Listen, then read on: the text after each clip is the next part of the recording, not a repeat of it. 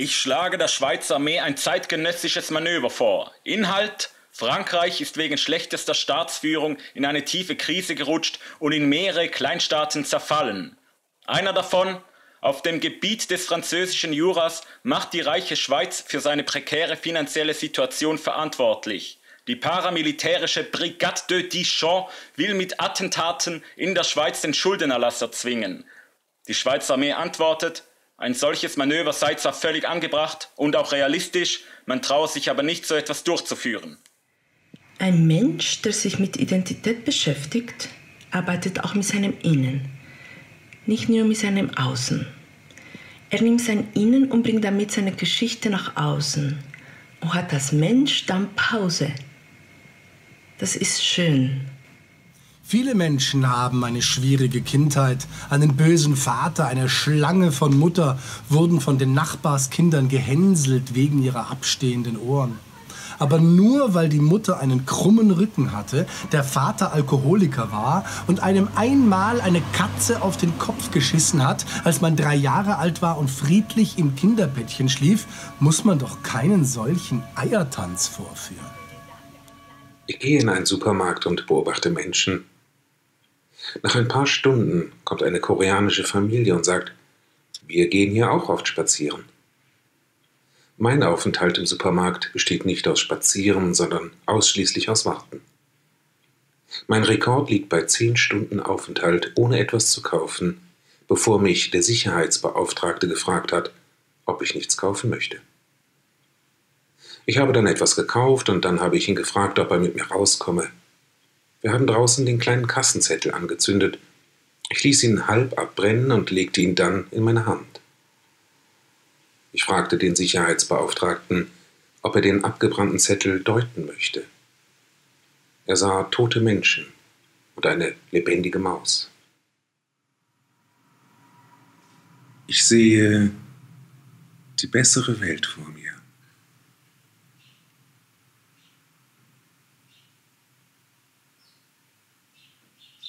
Ich kapiere nicht, wie ich das gemacht habe. Wer ein Image hat, sollte es schädigen wollen. Ein Esoterik-Ladenbesitzer hat in seinem Schaufenster Beispiele seines Schaffens ausgestellt. Teenager, die auf Motorrollern Freitagabends durch die Innenstadt fuhren, wurden von diesen Energiesteinen magisch angezogen und mindestens zehn landeten Kopf voran im Schaufenster. Dass alle sturzbetrunken waren, wollte niemand wahrhaben.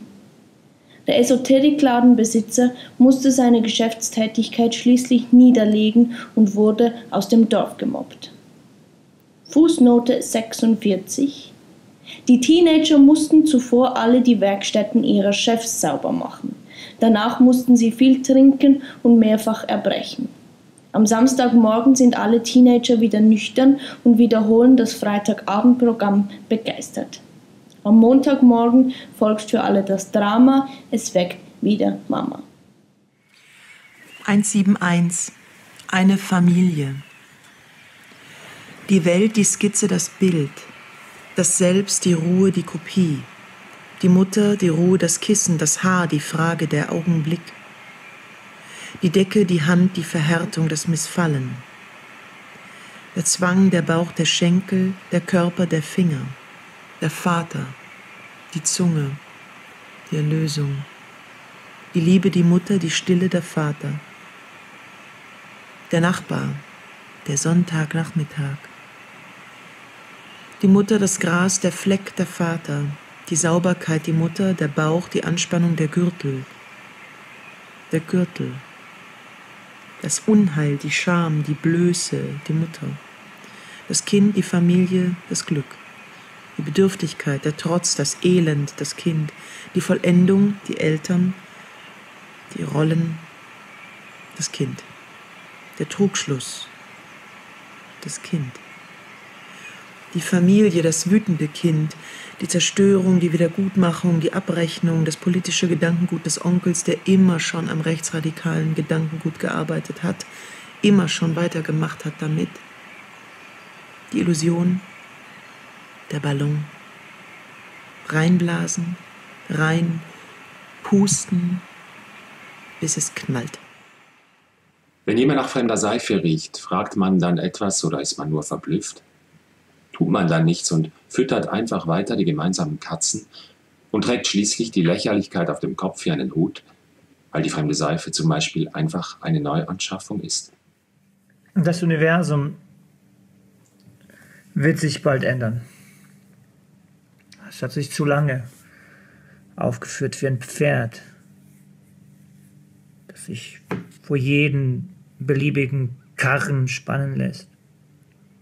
Das Universum hat sich zu lange gefügig, gehorsam und zerebral gelähmt verhalten. Eine reine Wüste. Und bald wird ein fürchterlicher Knall folgen.